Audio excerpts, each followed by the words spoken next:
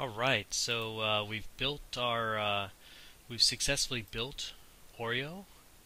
Uh, we've we've gotten past all of the uh, hiccups and hangups that we've seen uh, going through the build process, and now we're ready to put it on the uh, the phone. now that we've added our um, our key our uh, keymaster.mdt file from our uh, Sony uh, Xperia Compact that we stole that from. And uh, so let's uh, see if this one works a little bit better and see what uh, what we get. So I'm working on the phone here. I'm installing right now, and uh, that's going to flash. And once that's done, I'm going to go ahead and uh, boot it up, and we'll pull a logcat and see what we get. And hopefully, we get uh, all the way uh, to the uh, to the desktop. So I'll pause this video while we bring that up. Okay, so first attempt at uh, boot up is not functional.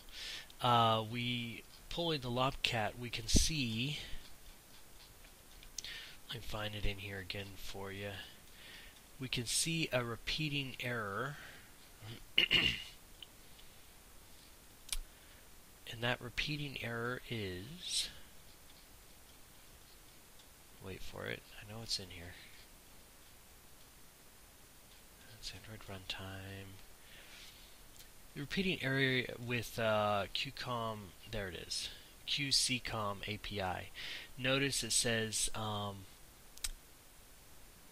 you know, the hardware keymaster at 3.0 implementation found keymaster module, keymaster QCOM HAL version 3, and then it's sitting there and says keymaster app is loaded, keymaster app got loaded, and then it's all of a sudden says cannot open the file, vendor a firmware keymaster keymaster.mdt uh, error loading the image and it's giving us uh, more and more errors with that.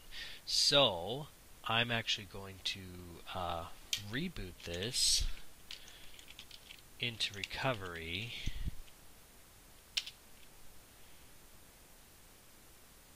Because I know how we can fix this so if you see something like that for yourself, uh, here's uh, here's what you need to do.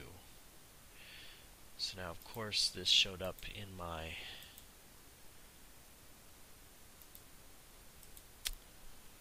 thing there. So ADB shell, and uh, and we're in recovery right now.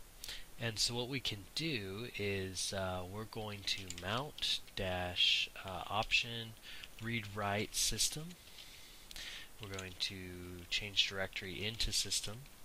We're going to take a look at a few things, but what I really want to do is uh, cd vendor uh, lib hardware and when we look in here we'll see this key store uh, msm8916.so this is giving us the problem and causing us to fail to boot um, so we can remove the key store itself.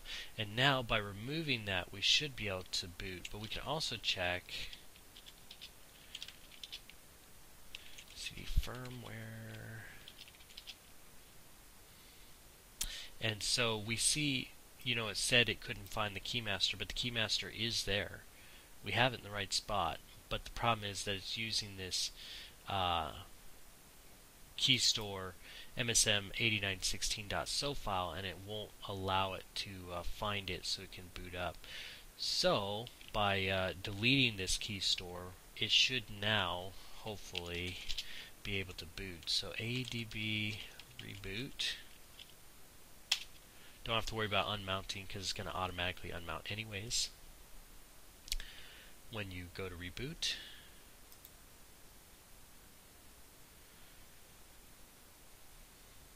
phone is rebooting. We see the uh, Lineage OS uh, boot animation. So I'm going to unselect it from here so I can pull logs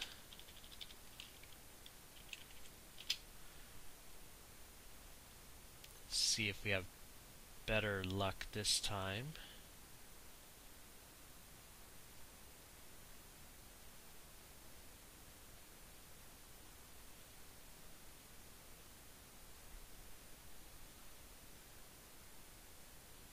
Looks like it's making some more progress, actually moving forward, which is good.